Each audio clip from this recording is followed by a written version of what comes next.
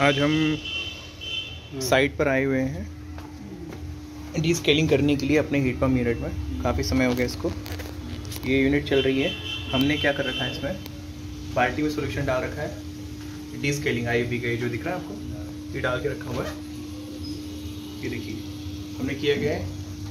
कि हमारी मोटर का इनलेट है। इसमें सॉल्यूशन डाला है। यहाँ से पानी इसमें जाता है इधर से, होते हुए। इसे घूमता है। फिर ऐसे आउटलेट होता है, इसमें जाता है। यही रोटेट होके चेन बनती है। तो ये जो एजेंट डाला है हमने क्लीनिंग वाला, ये इसके अंदर की जो इनक्रस्टेशन है, जो जमा है, वो पूरा उसको क्लीन करता जाता है। चल रहा है, देखिए। रोटेशन चल रहा है यहाँ पे। और इसको ऐसे नहीं चलाया, हमने क्या किया है? इसको खोला है।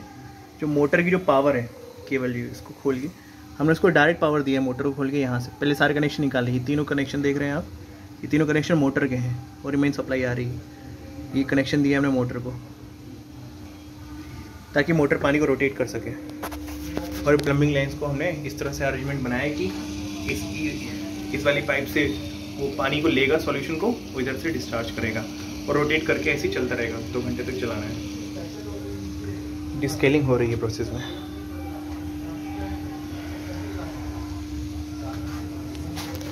ये कटनी की एक साइट है। मिस्टर लहरिया की।